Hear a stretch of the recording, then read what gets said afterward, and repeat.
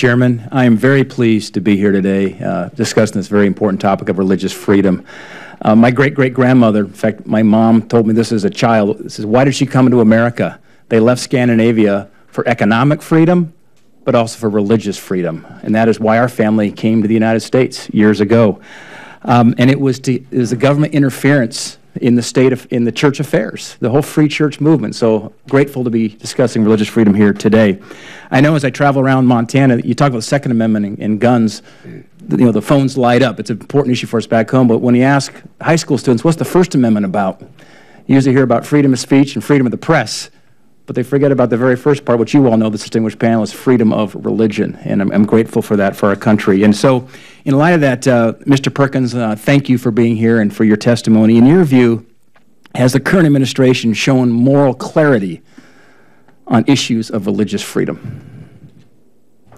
Thank you, Senator. Uh, I do believe, now I, I don't, obviously don't know everything that's going on, but the fact that for 36 months the ambassador spot remained vacant sent a message that we did not put a priority as administration, as a country, on religious freedom. I'm grateful that the, the rabbi is now there because I agree. I think he's doing a good job and look forward to working with him in that post. But there's so much more that can be done. And this is not a one-size-fits-all approach to this religious liberty and freedom threat. The Middle East is one aspect. Uh, you look at what's happening in, in North Korea. China has been mentioned. We haven't mentioned India. After their elections, religious freedom has, has slipped in that country. Uh, we need to be watching very closely what's happening, not just with Christians, uh, but all religious minorities there in, in that country. Under the International Religious Freedom Act, this is to be a priority in our foreign policy. Our training for our foreign service officers is to be a, a, a priority. Uh, diplomats uh, are to, requires the diplomats to meet with NGOs to promote religious freedom. Now, you've probably had more interaction with ambassadors than I have, but I have met with foreign ambassadors. In my conversations, this has never been a topic that has been brought up to them as a priority in our foreign policy. In fact, it's been contrary. So uh, to answer your question, Senator, I would say no. They have not spoken with clarity. It has not been a priority that has been put forth by this, by this country, this administration. And as a result, we see record levels of religious persecution. And according to the experts that track this, it, it's not about to crest. It's continuing to rise. In the, in the foreseeable future does not look good. Thanks, Mr. Perkins. A question for the Bishop, and um, I say this in the context of having spent six years living in China back in the 90s. Uh, I was an expat with a Fortune 20 company there, launching operations uh, to, to uh, sell products into a Chinese market. Um, in light of the Catholic Church's difficulties with the Chinese government regarding the appointment of bishops and freedom of worship, has the United States government played a positive role for the Church and pressed the Chinese government to allow the Vatican to appoint its own bishops? I, am not a, an, an, expert in diplomacy. I'm uh, a pastor. Um, but um, the, the, the fact that, as, as I mentioned earlier, that, that we want to allow the, the Vatican to, to take a, a lead in this, and if anything, we want to we want to open up some space. Yes. Are, are, are you getting help from the U.S. government? Um, I'm I'm I'm not sure. I'm not sure.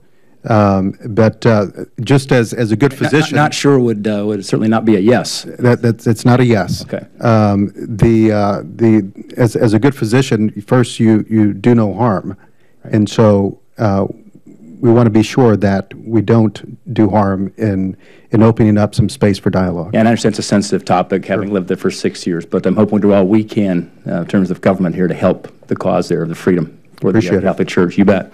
Um, Mr. Perkins, we've uh, talked a lot about religious freedom abroad today.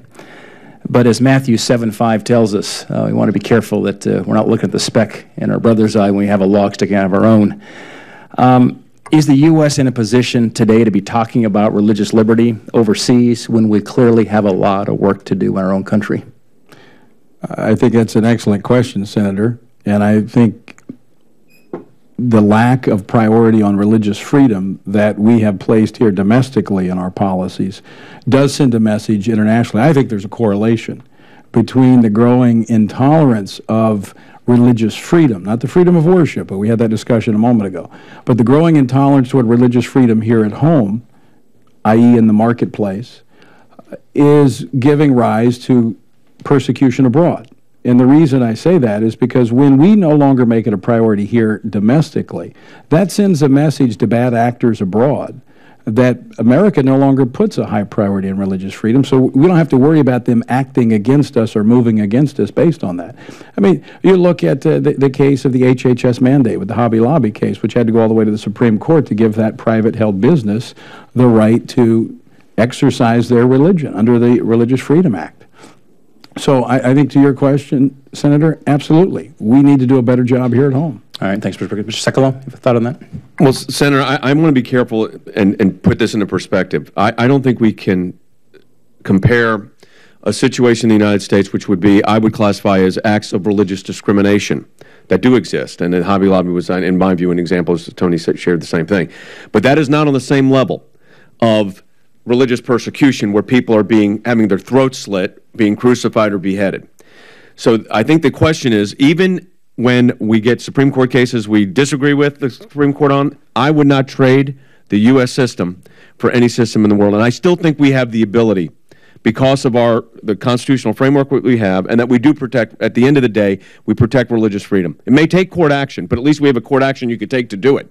These countries don't have that. So I, I'm always careful to, to compare I don't want to conflate religious discrimination, religious persecution, but I think we, I don't ever want to be perceived that the United States of America does not have the moral clarity to move forward on this because my grandfather, like your family, came from Russia, was a fruit peddler in Brooklyn, New York, and his grandson, despite Supreme Court cases in between that we probably would have agreed with or not agreed with, but his grandson gets to appear before this distinguished committee and argue cases at the Supreme Court of the United States. I think we have the best system in the world even with its faults.